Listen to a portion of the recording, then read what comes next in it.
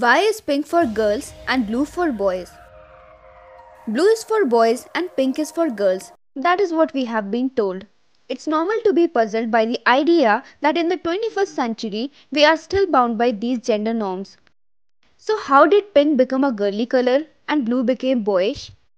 Was it culturally constructed over the years or it actually depicts the biological difference? Let's find out in this video.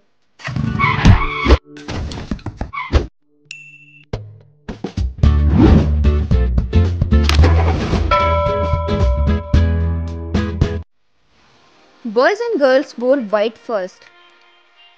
Before the shift towards pink and blue happened, all children had worn white dresses. According to the research by historian Jo Paoletti, it was found that children used to wear gender neutral clothing. It was more practical because white was easy to bleach. After they turned 7, they started adopting clothes similar to their parents, and guess what? That is when they got their first haircuts. Pink for boys and blue for girls. According to Paoletti, pink for a girl and blue for a boy social norms was during the 20th century in the United States. In the early 1900s, the published articles, baby announcement cards, and baby books indicated that the color pink can be published for any sexes. However, the trade magazine for baby clothes manufacturers emphasized that pink is the boys because it was a stronger, bolder color.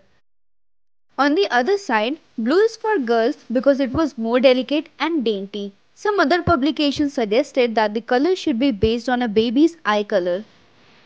It was a matter of debate at that time to decide the color, mostly between pink and blue.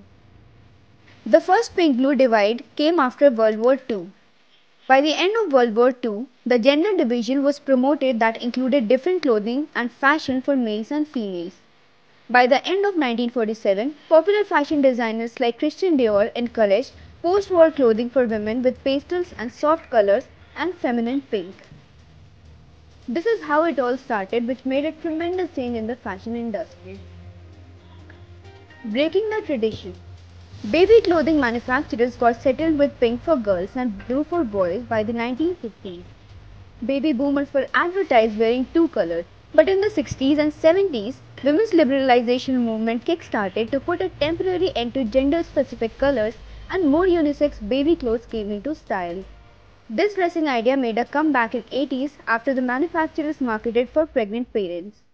Once they find out whether they are having a girl or boy, they can stock the baby clothes with specific colors. This marketing style did wonders to them as many expecting parents showed up. Moreover, the change can also be seen when women stopped going to work and became homemakers. That is when they became the symbol of feminism. Over the decades, girls were asked to dress like boys in order to be taken seriously. The debate is long, but one thing is for sure, it is not related to biological reasons. It is time we also break the tradition and go back to gender neutral clothing again. Thank you. Hello guys, the ebook for the month of December is available on our website.